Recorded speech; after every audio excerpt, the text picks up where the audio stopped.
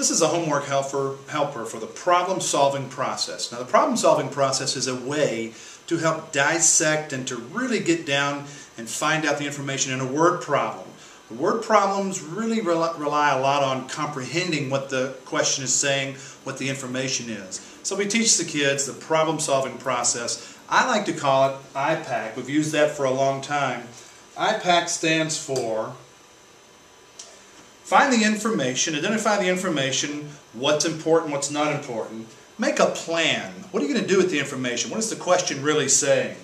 Find the answer by making a number sentence or maybe several number sentences. Could be a two or three step process. And then check your answer by using the inverse operation or by maybe doing it again if the inverse operation doesn't work for you. Here's an example.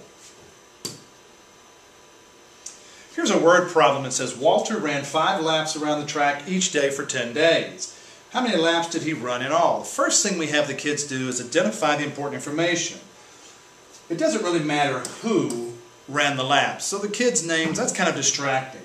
But it was five laps around the track for 10 days. So one of the things we have the kids do is to draw a picture, make a picture. You're trying to make a plan. So we'll say it's 10 days.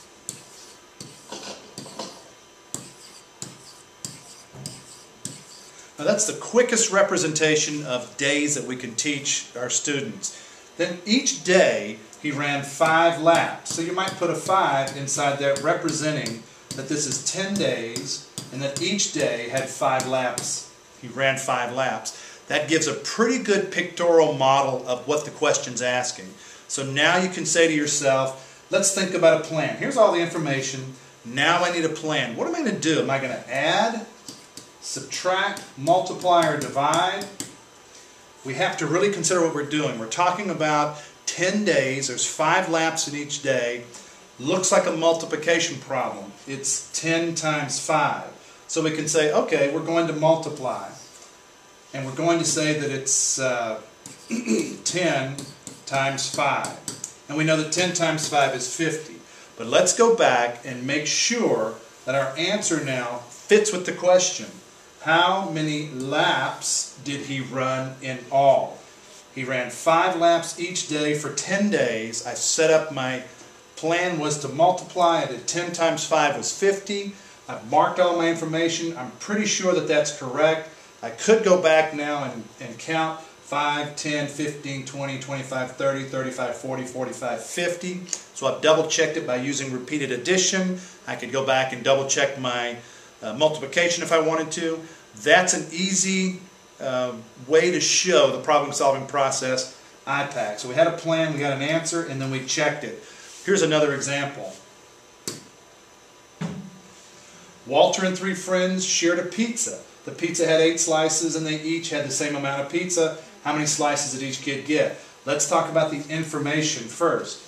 Walter and three friends. Well, there you go. Now it's important that we understand Walter represents one. So we'll say, okay, Walter and three friends. Keyword is and, and three friends. That's one plus three. Now we're talking about four people. So let's write down, again, a representation of four people, just so I can keep that thought in my head. One thing we like to teach the kids is to go one sentence at a time. Pick that problem apart one sentence at a time. If you can make a picture while you're doing it, even better. Shared a pizza. The pizza had eight slices. Let's draw a pizza. There's a real quick pizza with eight slices. Four kids, eight slices, and they each had the same amount. Even Steven sounds like division. We teach the kids to realize that when we're dividing things, it's always going to be even Steven. How many slices did each kid get? Well, we've got four kids here.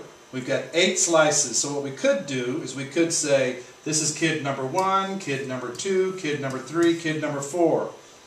They, if they all had the same, we could say one, two, three, four. And then kid one had another piece, two, three, four. Well, let's see. Each kid looks like he's getting two pieces, but the question says, how many slices did each kid get? Looks like two. So our plan was to draw a picture.